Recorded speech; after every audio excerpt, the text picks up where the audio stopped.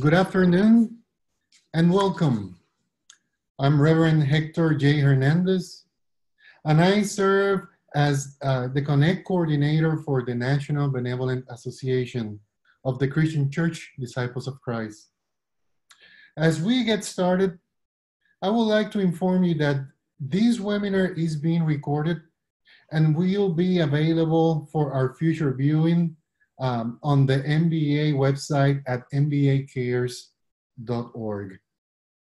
This webinar continues our 2019 series of webinars and educational training offered by the National Benevolent Association, Prison and Jail Ministries. Today's webinar is titled Introducing We Are Witnesses an important video series about the US criminal justice system. Our presenters today will be sharing and reflecting upon some clips from this video series created by the Marshall Project. The Marshall Project is a nonpartisan, nonprofit news organization that seeks to create and sustain a sense of national urgency about the US criminal justice system, utilizing award winning journalism, partnership with other news outlets, outlets and public forums. If there is time at the end of the presentation, we will host a Q&A session in which we will take questions from the audience. If throughout the seminary you have questions we will welcome you to use the Q&A feature by clicking on the icon at the bottom of your screen to submit any questions. Please include your email address in case we are unable to answer uh, your question. We, we will follow up with you directly via email after the webinar is over. To begin, let me introduce our speakers. First, let me do this too. First, we have um, Sergio D. Centeno Rodriguez. He works in the youth care. He worked in the youth care worker as at the Heartland Alliance Human Care. That is a detention facility for unaccompanied children.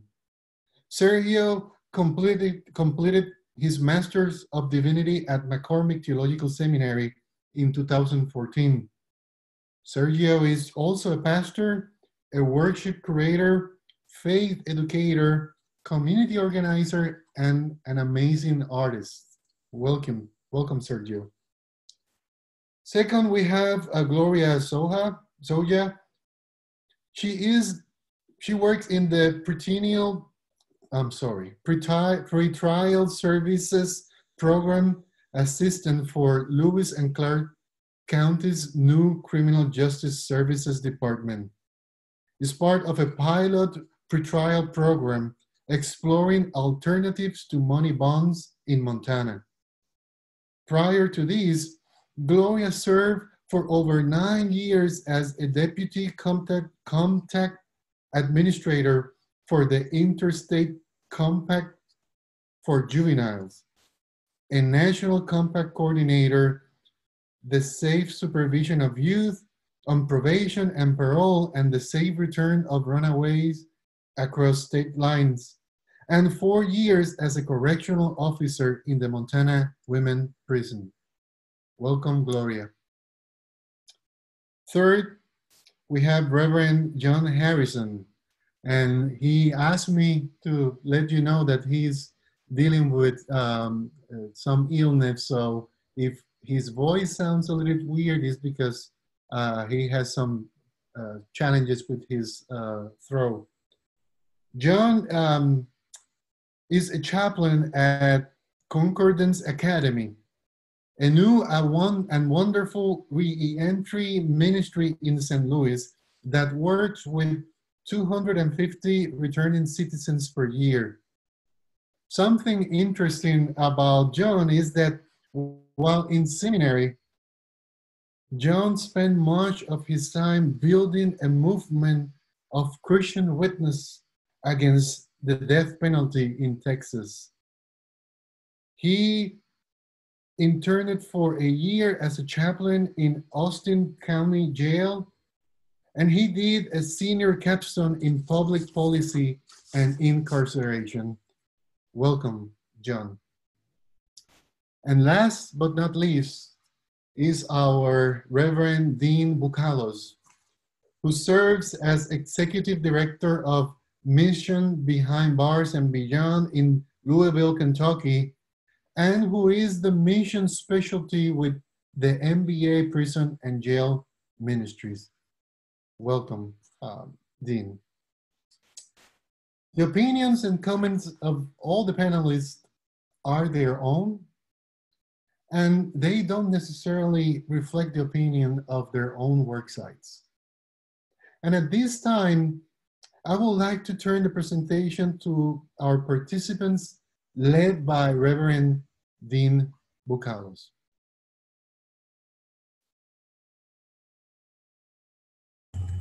Thank you, Hector. And I want to uh, thank the panelists for being with us today and taking time from their busy schedule. Uh, we advertise this webinar as a way to um, encourage and instruct and educate um, folks in congregations to engage in some difficult questions uh, and dialogue about uh, our criminal justice system, which um, I think most of us will uh, agree is rather dysfunctional and broken. And, and these statistics will, uh, I think, uh, confirm that. We have 2.2 million people in the United States who are in either jails or prison. That translates out to about one in every 115 people are behind bars in the United States. Furthermore, since 1980, the number of people who have be, been incarcerated in the United States has uh, increased fourfold. Four times as many people are incarcerated. Um, and we also know that there's been a disproportionate impact upon people of color um, who have been incarcerated and who remain incarcerated. So we need to talk about that as the church, and we need to find ways in which we can become part of a solution to uh, reduce what has become uh, a crisis, both in immigration detention as well as in uh, our United States and statewide uh, departments of corrections and in our jails. And we thought that by utilizing this um, video series called We Are Witnesses, produced by the Marshall Project, that it, it would be a way to demonstrate how those conversations can take place in our local churches. So this video series, which we're not going to show uh, completely, we're just going to show some snippets of this, and I'll explain uh, how we'll proceed in just a minute. Uh, but, but this video series has 19 separate vignettes from a variety of people who are involved in the criminal justice system. So there are two police officers, one prison guard, two judges, two parents of, uh, of uh, a murder victim, four ex uh, prisoners, uh, and a myriad of other people who've been affected by the criminal justice system. So we've asked John and Sergio and Gloria, who are involved in this work, to uh, look through this video series, select one that touched them, spoke to them, um, moved them in some way, and ask them to reflect upon that, why they might have selected that particular passage, and how they see that as a, a, a, useful vid- uh, vehicle to uh, begin conversations in their own communities, their own communities of faith. So we're going to start by watching a short video that, that each one of them selected and then invite them to reflect on that. So we're going to begin with the John Harrison who uh, selected this particular video uh, about Ed Gavigan.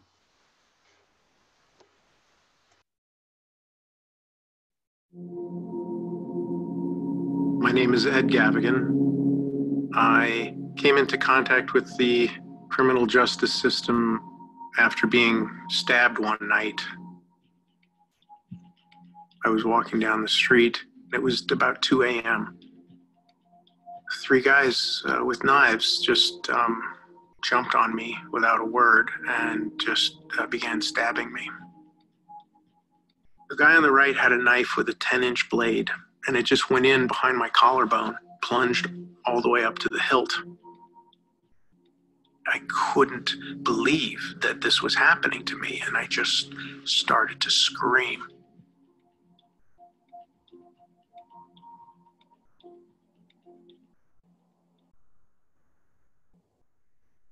I never talked to any doctor who can believe that I made it.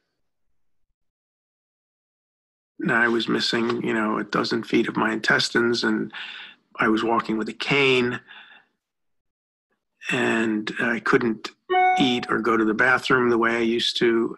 The stress of that, um, combined with the the flashbacks and um, the nightmares, made it really hard to be a functioning person. People would say, "How you doing?"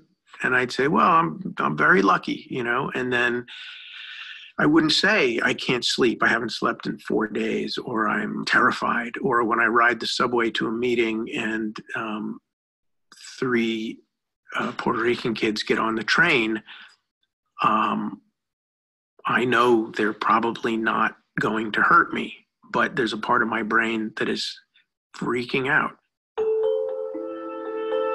I was just really angry at everybody else who I saw going along in their day to day life who had no idea that they could just lose it all.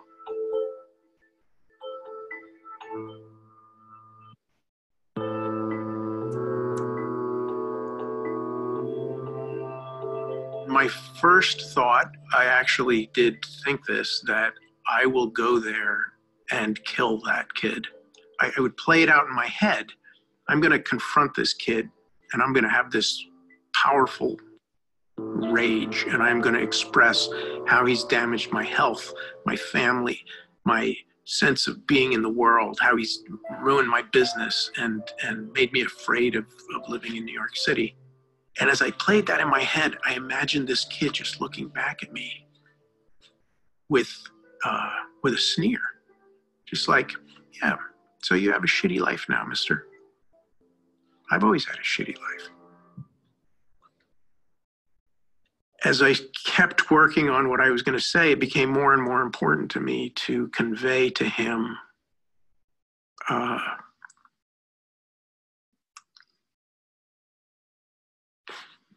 to convey this idea that we were each going to get a second chance.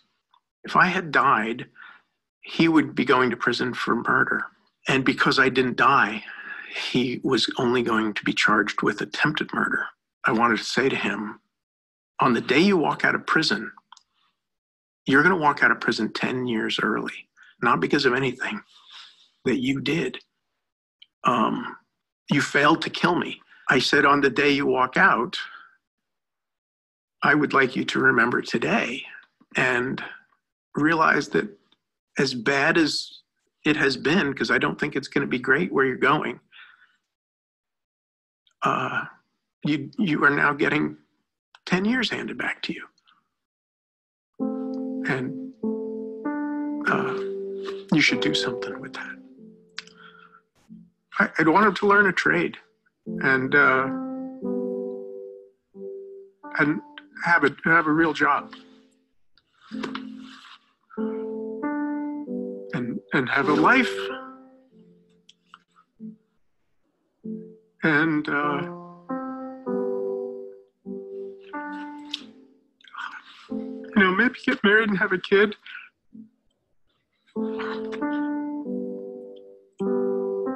I'm not sure why it makes me so sad to say that, but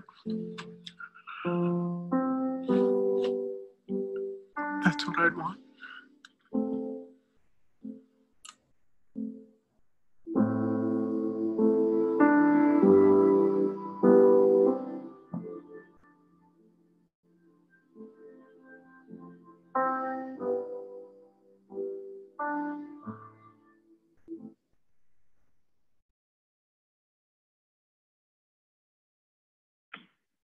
In management circles, you'll hear a nice little axiom that goes something like this We are perfectly designed to get the results that we are getting.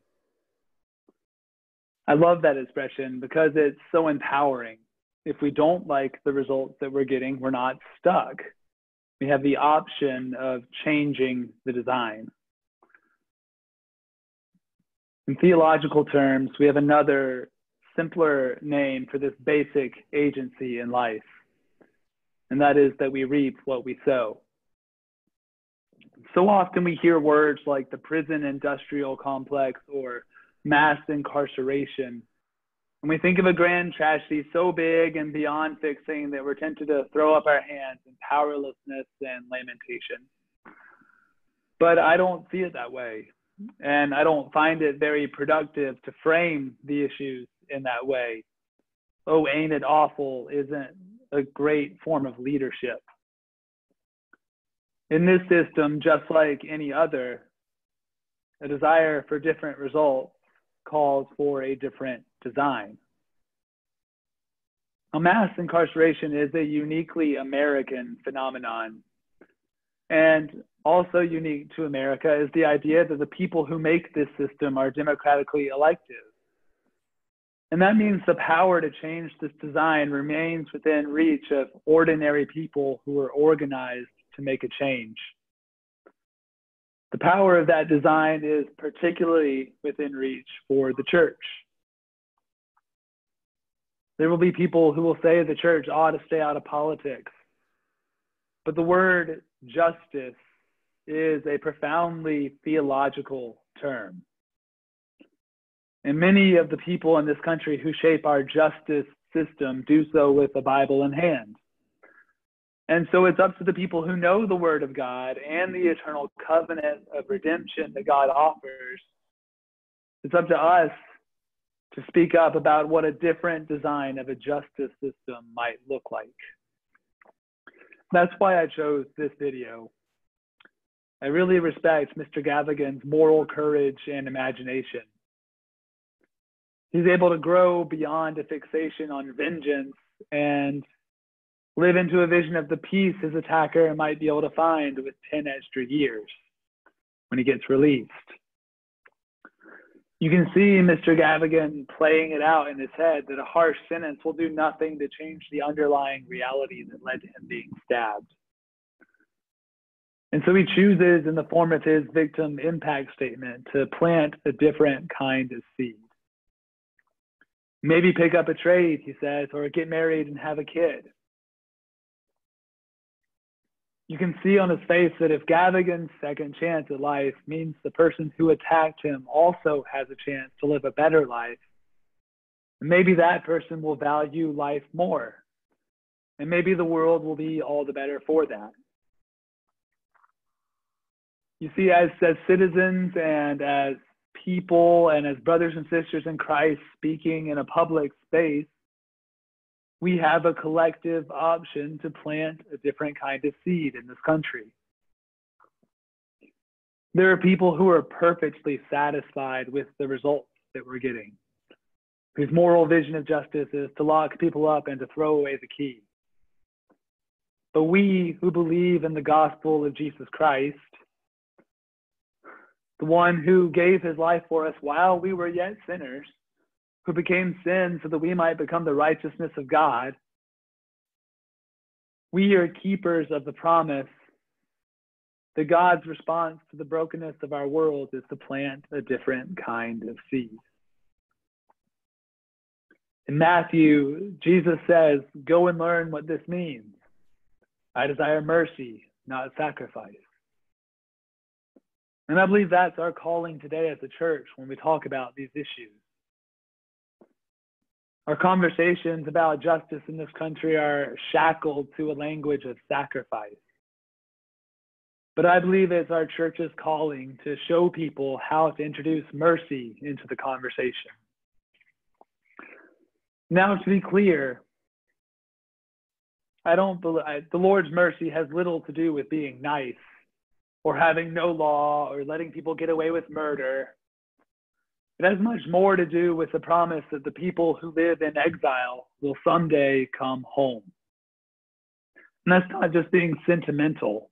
If you look at the statistics, 95% of the people in prison today will sometime be released and come home.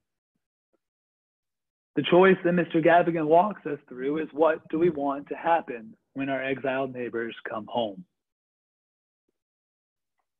Right now, our current moral vision of justice means that 77% of returning citizens will commit a new crime and go back to prison within five years. Our current moral vision of justice means that a child with one parent in prison is nine or 10 times more likely to go to prison themselves. And the cycle goes on and on. Probably the biggest obstacle this conversation faces is how depressing it is to put faces to these numbers and to think about the scale of the system. But in the face of that obstacle, I believe we're called to carry good news with us into every conversation that we can make different choices. Like Mr. Gavigan, we can learn as a society what it means to desire, to desire mercy and not sacrifice. And God willing, we can live to see the results. With that in mind, let's take a look at our next video.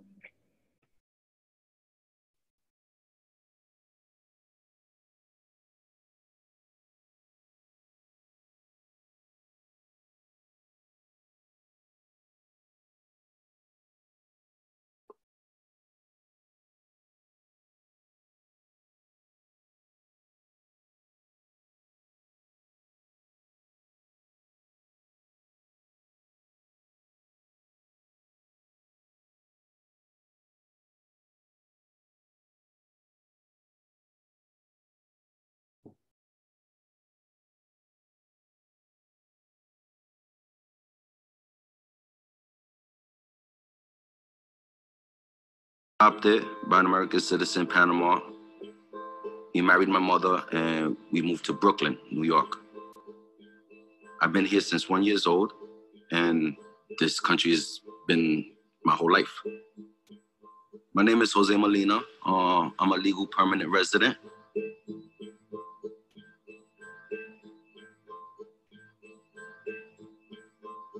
It was early in the morning, like six in the morning or so.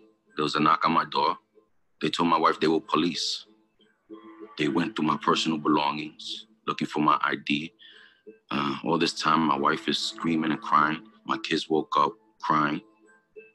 They told me that they were immigration enforcement and that I'm being deported for the crime that I committed in 96, which at that time was like 18 years ago.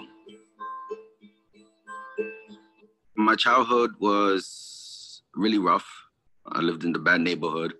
I had a stepfather who was uh, abusive and beat on me a lot. I tried to stay away from, you know, from all the the violence, but it was just really hard. Um, I got bullied a lot um, to the point where I committed a mistake, an assault to somebody in self-defense um, that cost me three and a half years in prison. I was released in the end of 99. I got married, I started a family. I made something of my life. I'm a city employee working for the New York City Parks and Recreation. For me, this was really big. I'm like, okay, you know, with this agency, I can grow. I could become more professional. It gave me a sense of pride. Like it's, you know, it's a city job. I always wanted my kids to feel important about who their dad is and what their dad does. My children looking at me in that light as a professional for for the city. It's it's it's a great feeling. When ICE came to my door, I just couldn't believe it. I was like, but I'm a permanent resident. You know, I'm not undocumented. They handcuffed me in my home and they took me to 26 Federal Plaza. I learned that if you commit a crime as a permanent resident, you're set for deportation. to my understanding, when I committed that crime back in '96, I was supposed to be deported at that time. And then 18 years later, I said, okay, um, now we're gonna deport you for this crime. I was taken to a detention center. They put you through the system like if you was a regular inmate. Orange jumpsuit, they put you in a cell, two metal bunks in a cell. You have a mattress, it's just a foam padding. You use your towel or your shirt, roll it up as a ball for a pillow. It's horrible.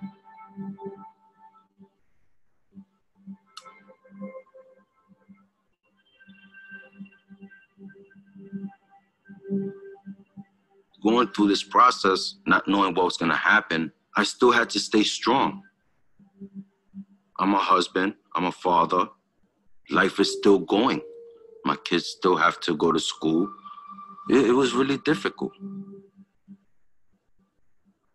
When my kids saw this happening to me, I think they felt like they couldn't do anything to help me.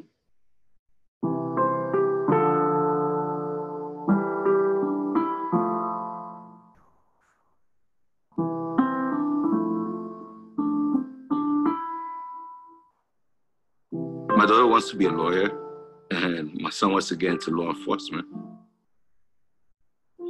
It just hurts me that they chose those, I think, because they felt like they couldn't do nothing for me.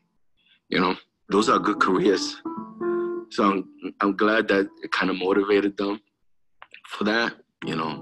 But I didn't want that kind of motivation, you know. But if it ends out good and they become successful people and good people, that make me happy.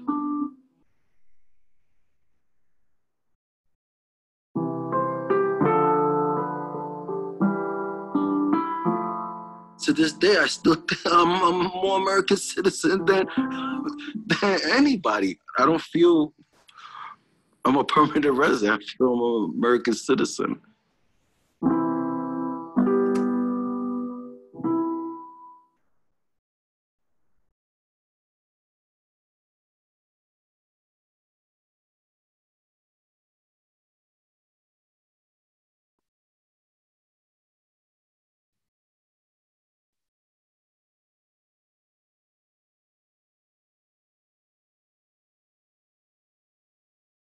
We cannot hear you.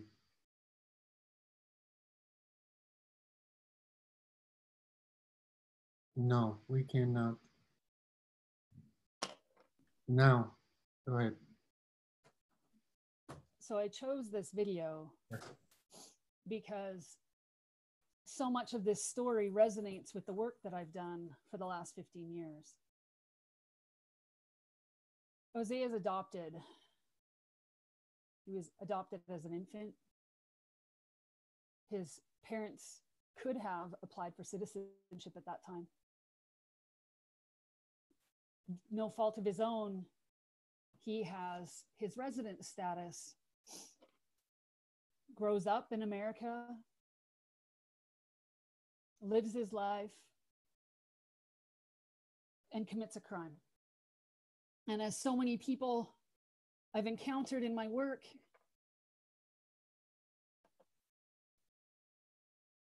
while guilty of that crime, the circumstances around it would make most people wonder what else could he have done? It doesn't justify the crime, but there's always more to the story. And so he's convicted of a crime, and based off of his sentence, three and a half years in prison, most likely a felony. But he serves his sentence, he's released, he goes on to have a family. And our system says that we believe in restoration. We believe that you serve your time, did the crime, serve the time, and move on with life. Unfortunately, we know that's not the reality. With the focus on reentry these days, with Second Chance Act and First Step Act, and wanting people to be successful leaving incarceration, I'm confronted with Jose. Here is the person that even a victim, Gavina, would say, I want this person to have a good life. I want this person to change and be successful. And here we are confronted with Jose, who has done exactly what Gavin, Gavignac wanted people in this position to do. He's gone on, he's had a family, he's working for the city, he has a good job with good benefits, he's raising his family in a good way. And then there's that knock at the door, six o'clock in the morning.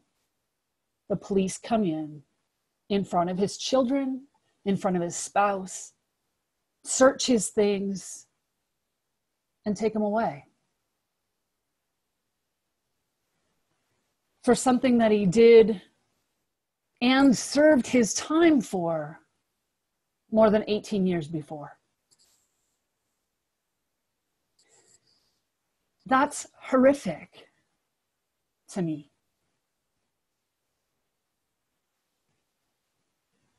And then it goes on to let us know that eventually he ended up winning his case and being able to remain in the, in the United States because he should have been convicted as a juvenile, adjudicated as, as a juvenile, and it should have had no impact on his adult life.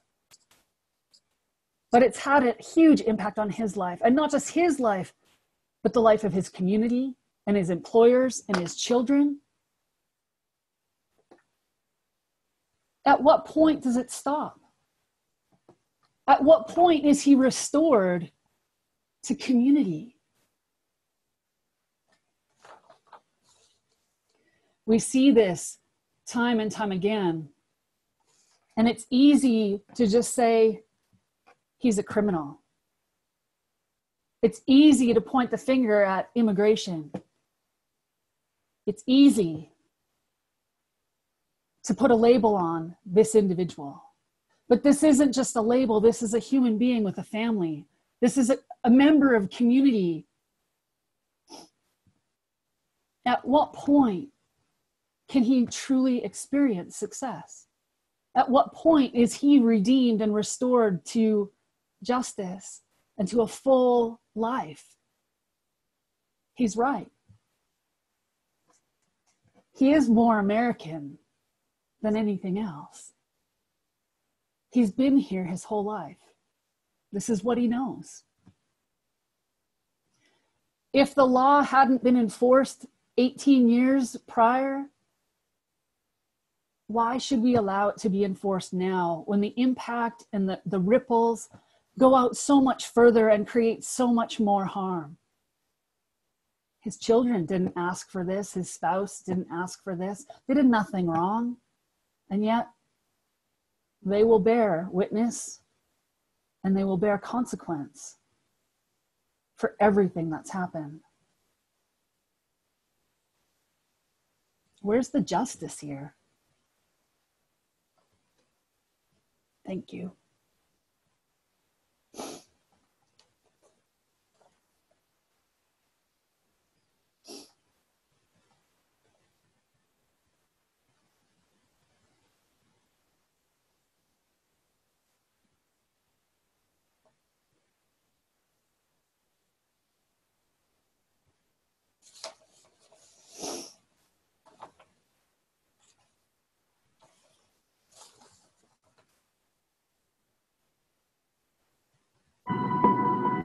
I'm a New Yorker. I'm born and raised in Brooklyn, New York. My family are from Palestine. My name is Tahanie Aboushi. I'm an attorney here in New York City. My name is Nisrin Elamin, and I'm originally from Sudan.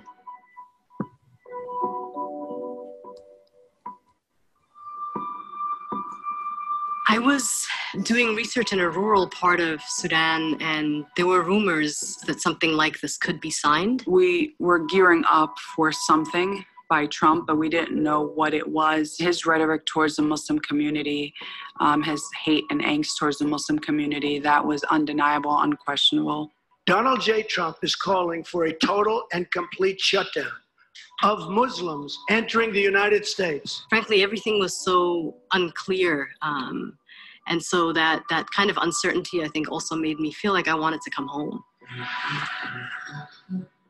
So I got on the next flight out from Khartoum. From Khartoum, I went to Bahrain, um, and then I caught a connecting flight to London. I didn't sleep, I, I couldn't eat, knowing that this executive order might get signed while we are on the plane, and I, I just didn't know what I was going to expect. I was driving back from Connecticut, and um, I heard that the ban had dropped. President Trump signing an executive order suspending immigration for 90 days from seven countries with ties to terrorism, all Muslim majority nations. If there was a moment in time that I was created for, it was for this moment. Being an attorney, being a child of immigrants, being Muslim. If I can't do something about this right now, then what have I been gearing up for all this time? When we finally got off at JFK Airport, I followed the regular US citizen green card holder line, went to the machine where you put your green card in. You know, my picture came out with an X on it. And so I went to the immigration officer and then he went to his supervisor. He said, You know, what should I do with this person? And he said, Well, just process her like you would a normal green card holder. And as he was walking back, the supervisor said, Well, actually, wait, wait a minute. Um, you have to take her in for further processing. I think we were probably um, the first people to get detained under the ban.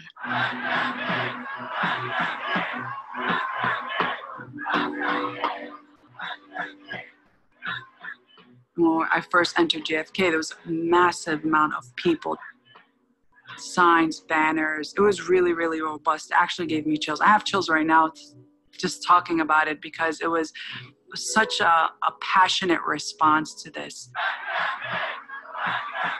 I just made my way inside the Terminal 4 and I saw the beginnings of what eventually would be our headquarters. I kept asking throughout the night, like, what's going to happen? And I was told, you know, your guess is as good as mine. We don't know. I noticed that the officer was reading the, the language of the executive order.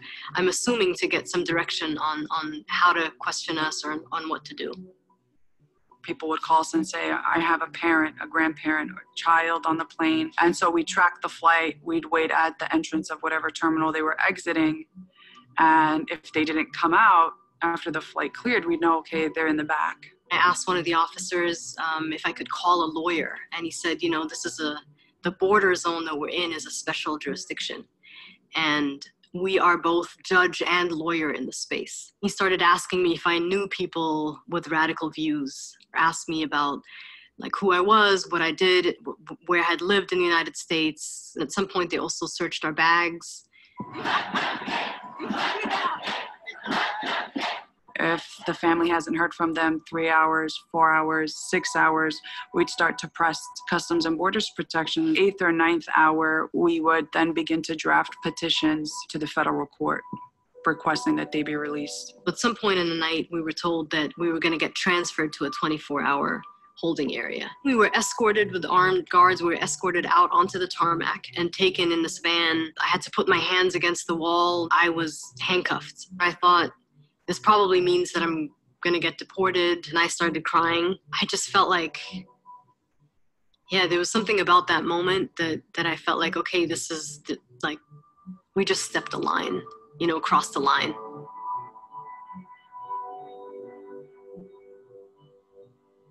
The detention lasted long enough for us to file, but not long enough for us to be heard by the court. They told me, you know, they had done an extensive background check on me and that they hadn't found anything quote unquote derogatory. I was told I could go, I could leave.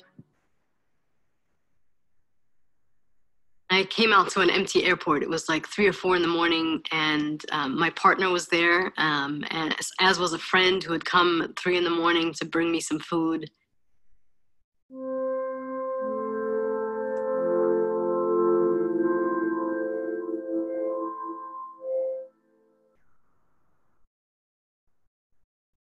I'm hurt for our community, not just the Muslim community, but the immigrant community. The attitude towards Muslims, it's not new. It just made me realize we've got so much more work to do.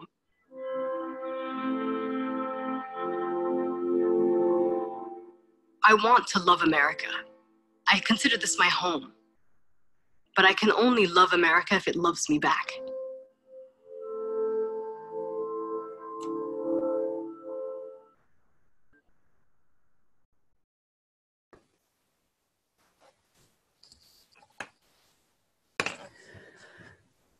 So this video I chose because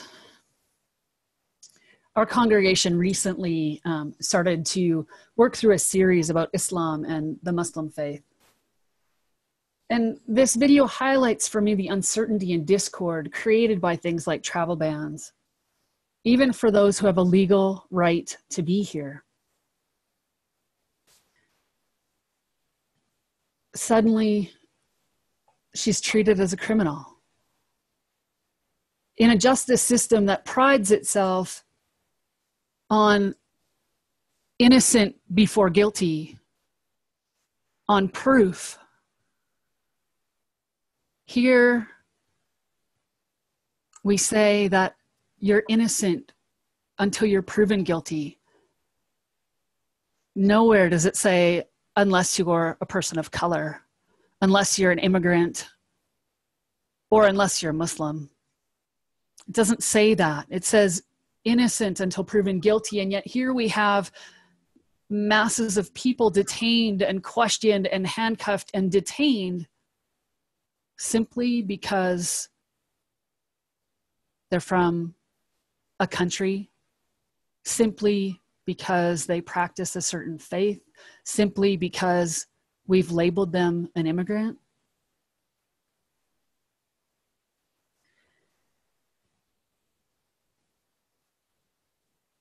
I wonder if we think about Paul and his own persecution of the Christian community, how we would feel if this ban was directed at people of the Christian faith. We know that the travel ban and, and the detention of thousands of people has separated families and separated couples for years simply because of where they were born, simply because of where they're traveling from. This person did nothing wrong. She was legally here. She was a student studying for her PhD and gets on an airplane to come back completely uncertain of what she will face on US soil.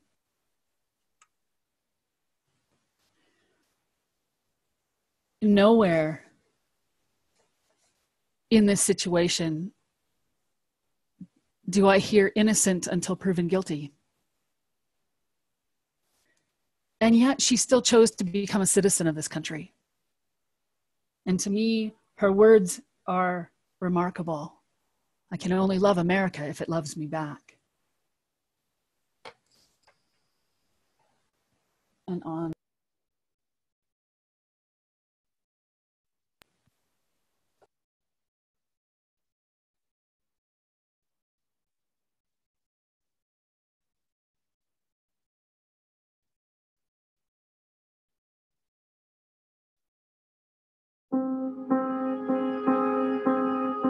Remember being harassed one time.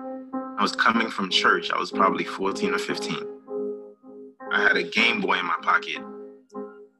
These detectives undercover jumped out the car, guns drawn. They were like, take your hand out your pocket. And I was so scared because I didn't know if I was gonna take it out, they would shoot me. And there was a lady from my church, she started screaming, he's a kid, he's a kid. You know, I think that probably saved my life that day. My name is Tarif Richards. I served as a correction officer for eight and a half years. I wanted to be a part of law enforcement because as a young black man, I feel like if you can't beat them, the best way to do it is to join them.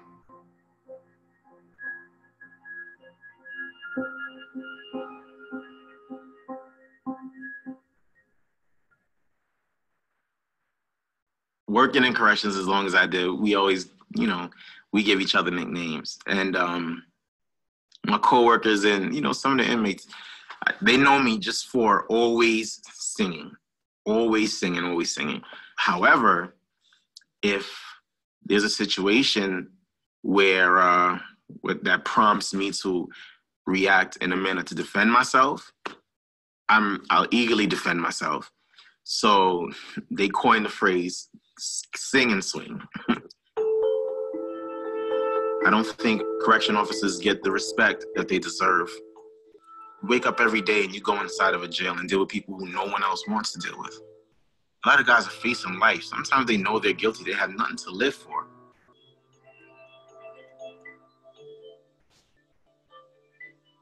I remember my first day inside of Rikers Island, out of the academy. The first thing you smell was just funk, jail funk, we call it. It smelled like a combination of underarms and socks. I remember walking in the areas and everyone is looking at you because they know you're new. Your belt is your belt is shiny, your, your equipment is shiny, your shield is super polished. And you know, they start messing with you. I was alone with 50 guys on one side and 50 on the other side. So it was me and 100 guys. And I was walking and I just felt a cold thing on my shirt. A guy had squirted me with urine from out of a toothpaste can. That got me ready for what jail really was about.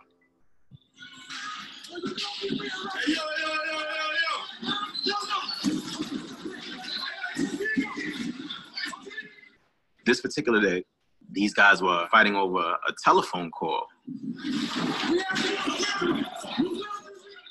A guy swings, hits me. I had to fight my way out of the housing area. When there are riots, you're always outnumbered. We're not armed. Uh, we have pepper spray. You know, that's assuming the pepper spray works. These guys are so used to it, it's just like they just fan it off and continue fighting. I've gotten some nice lumps on my face, fighting, defending myself. I've gotten cut on my, my right arm with a homemade razor blade. I've had a broken right hand. I can't, you know, do simple things like simple tasks like to scratch my back or, you know, to reach the back of my neck is very, very trying. I've had um coworkers who have killed themselves. Um, a lot of coworkers who rely on alcohol to get them through their, their life after corrections or while they're on the job is very stressful. It's very stressful.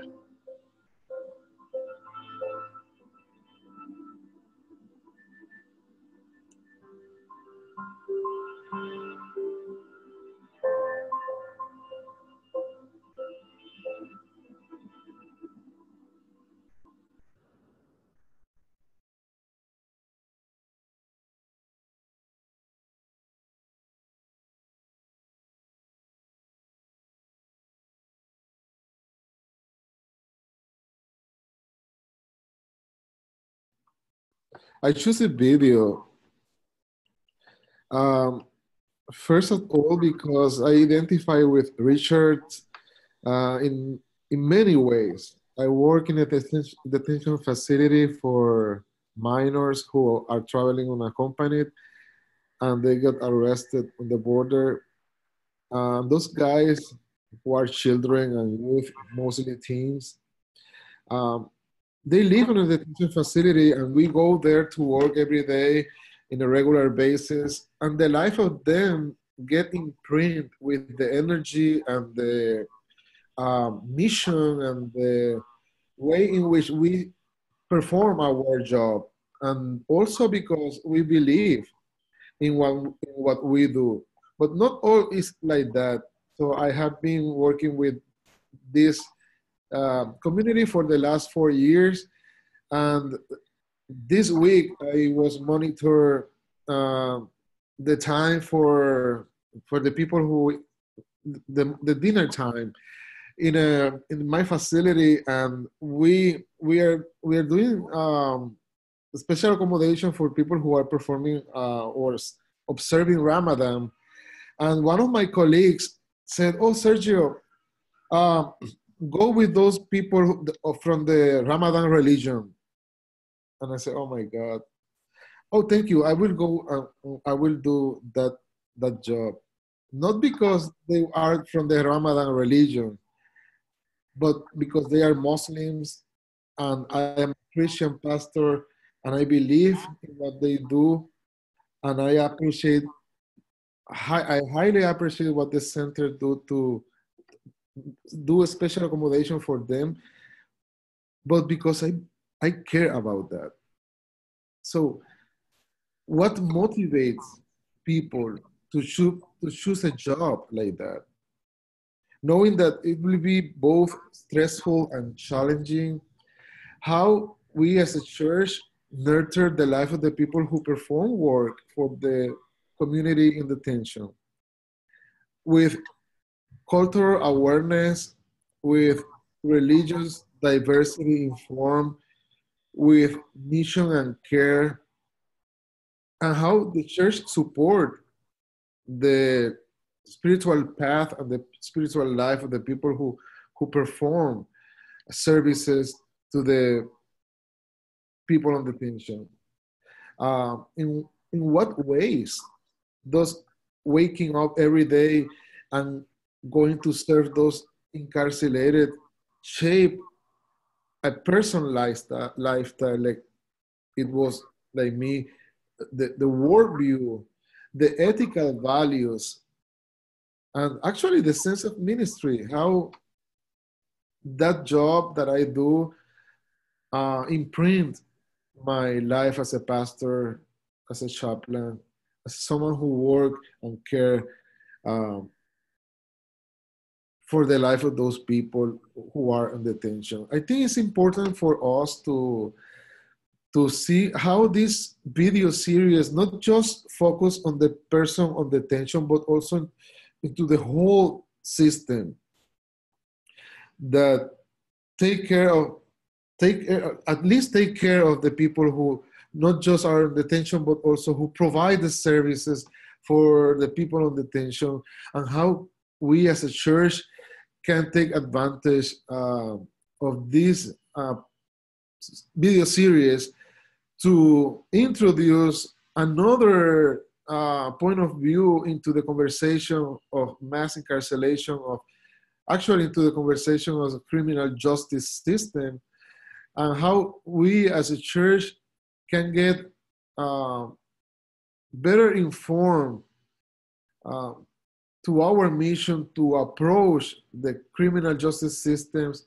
system not just looking at the person on detention or the person who performed a crime uh, but also for the people who serve that community uh, the people who nurture the, the life of those people every day i feel like him i also I'm a kind of actor for them.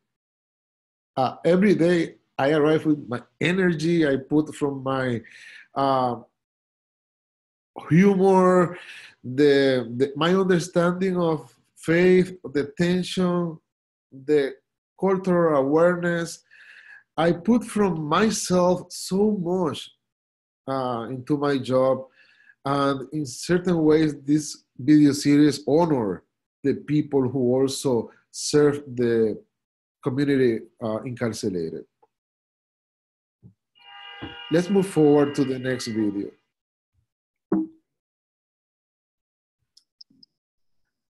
Well, I want to thank each of you for uh, sharing your reflections and insights. It's uh, been really, really powerful and helpful.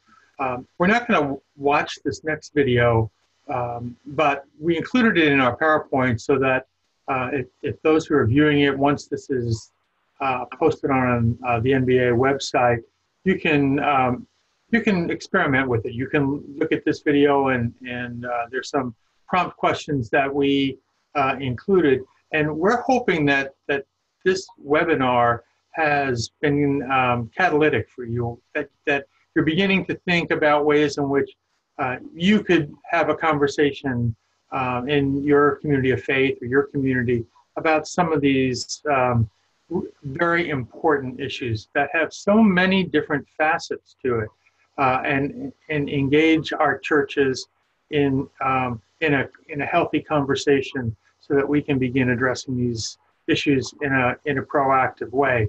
The, the videos that we watched were from uh, as we mentioned, the Marshall Project, and they, they've done two series. One, um, We Are Witnesses was the first series, and, and, um, and the videos that uh, you saw from um, John and Sergio were from that series. And then they have a, a second series called Becoming um, an American. And uh, the two videos that Gloria shared were from that. So I invite you to, uh, to go on the Marshall Project website to explore, to, uh, to watch these videos, and, um, and hopefully bring them back to your communities of faith. And um, I, am grateful for John and Gloria and Sergio for taking the time to, to look at these, uh, to provide some questions that uh, they felt were um, uh, pertinent to the videos that they selected to give you an idea of how you might be able to do this um, in your home community of faith. I'm going to turn it back to Hector. We don't have much time left, but there may be some questions that uh, are, have arisen. Yeah, um, thank you.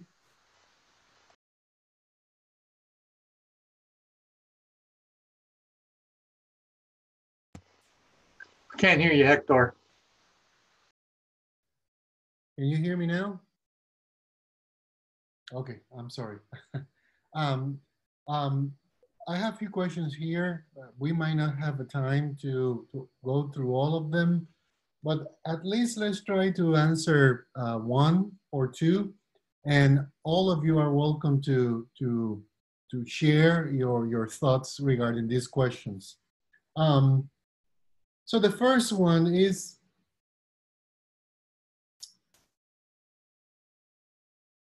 after watching these videos, um, what what would you say is the main takeaway for churches and communities of faith, and why? And and and all of you have already shared that, but but I, I think it's important that that we highlight that the takeaway.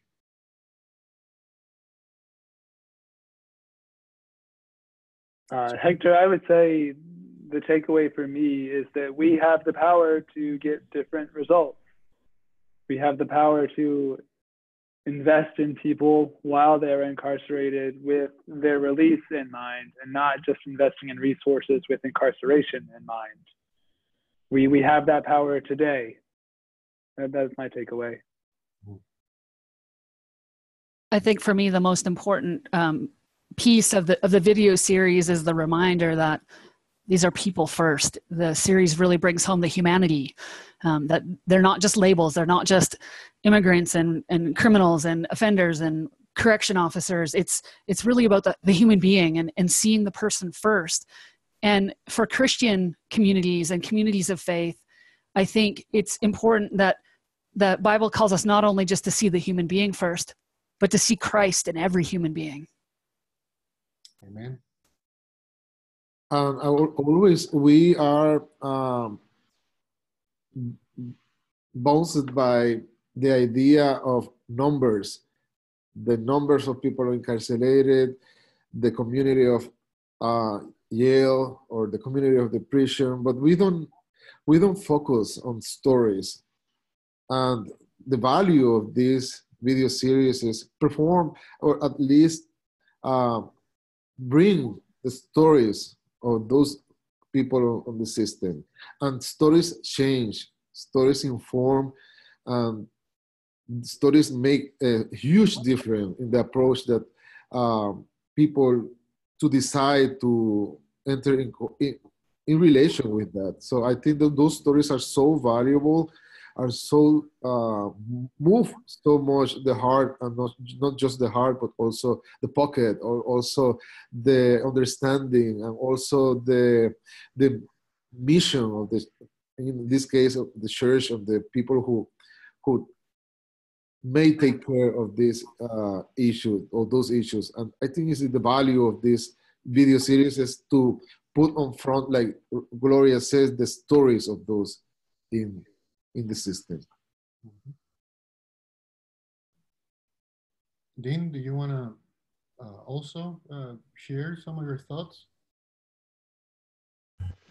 So I'll um, I'll add to that. Um, the, the the the takeaway that that I um, would bring back to my faith community is is that uh, that the church is really something that should be engaged with all these folks um, and and not uh, see them on the margins of, of our culture and our society.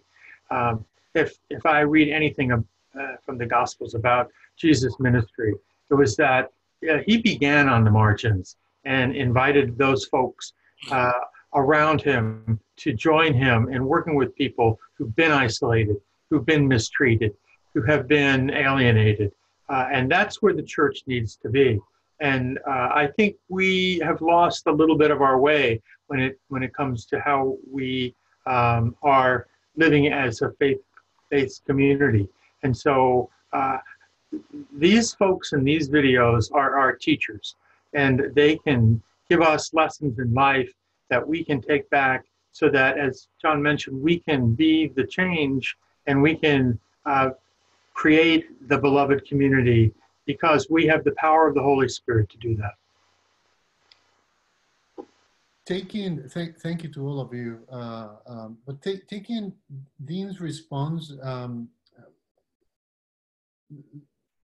what will be your recommendation? Um, what do you think uh, will be the first step um, for, for our churches, for our communities of faith to introduce this video series, uh, you know, to the congregations? Um, how do you think will be a, um, a creative and efficient way to, to promote this in a way in which maybe we bypass our own um, fears and, and we sit down and we learn, like, like Dean was saying, from these teachers, and hopefully um, it has a, a, significant impact on, on, on our churches, on our, on our communities.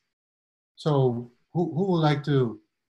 I want to, I, I want to say that uh, this is a great tool for small group gatherings um, to to provoke sacred conversation. You know, sacred conversations are a conversation that not necessarily are easy to approach, but this is a really great tool to introduce a, a complicated uh, theme and at least provide the the provoke um, questions and then that will help the church to make more understand, understanding about what the mission of the church is in, in terms of um, uh, the criminal justice system. I think the it could be awesome for small gatherings also to place them in the websites of the churches.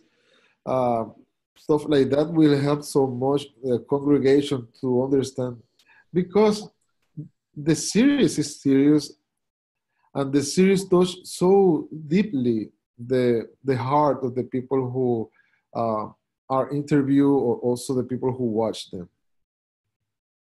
Thank you. Anybody else?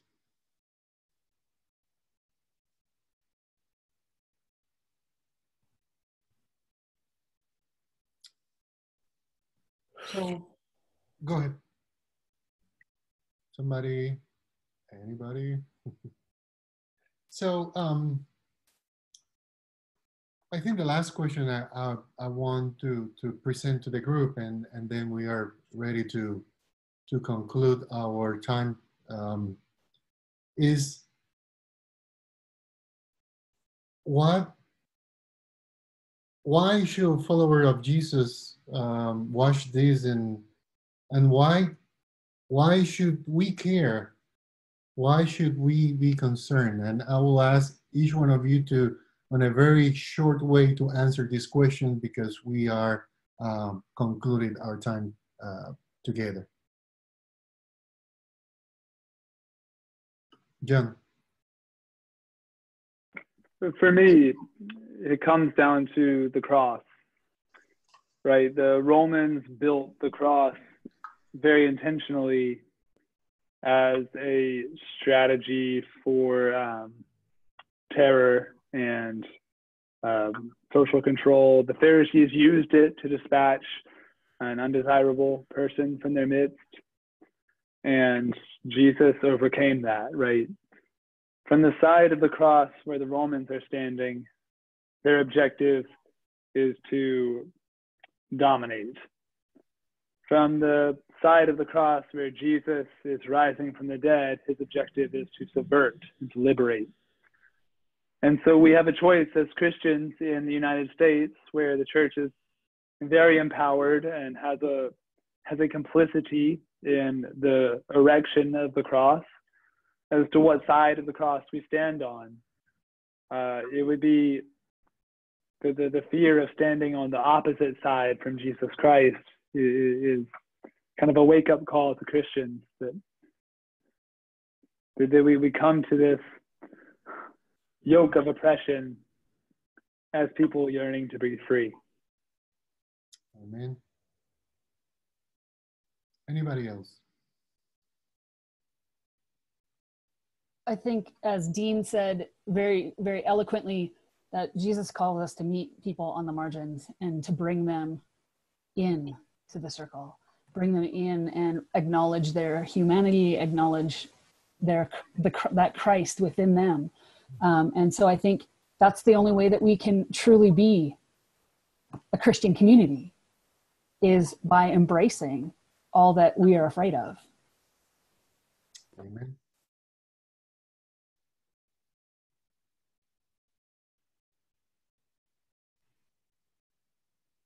Uh, that remind me the concept of broken bread. You know, uh, we are broken people. We are in the middle of a broken system, and that makes me so much sense when when I look at the the communion ritual.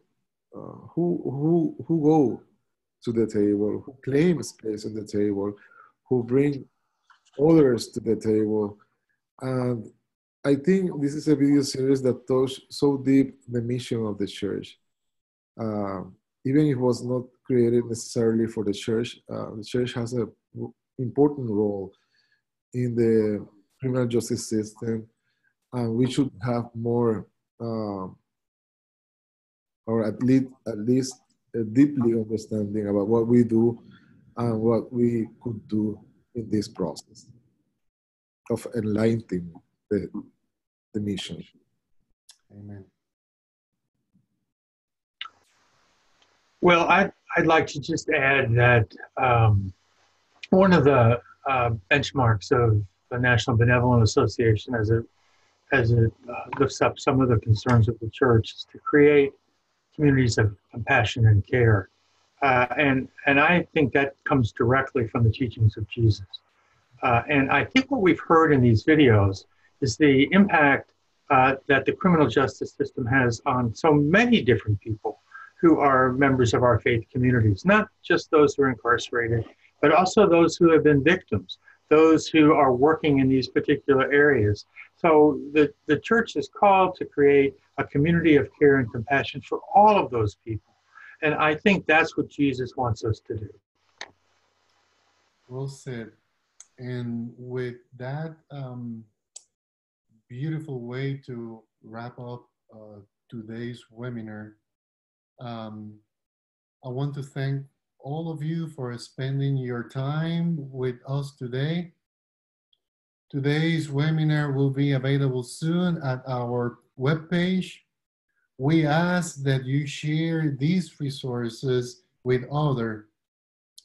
And for more information um, about NBA prison and jail ministries, as well as all the other ministries and great work that NBA is doing, we invite you to visit uh, our website, nbacares.org. Once again, thank you to all the participants and thank you for the presenters and have a beautiful day.